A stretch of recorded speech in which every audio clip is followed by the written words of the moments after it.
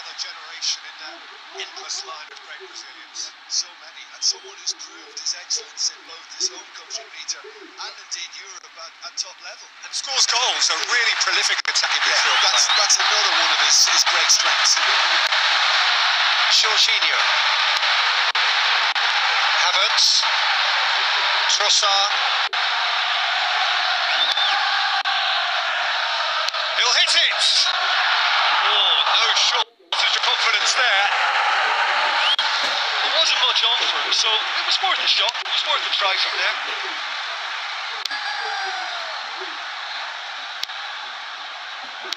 Caicedo. Gallagher. Fernandez. And he's escaped his man! Tomiyasu. Saka. Martin Odegaard. To generate so much power. The mark of the player he is.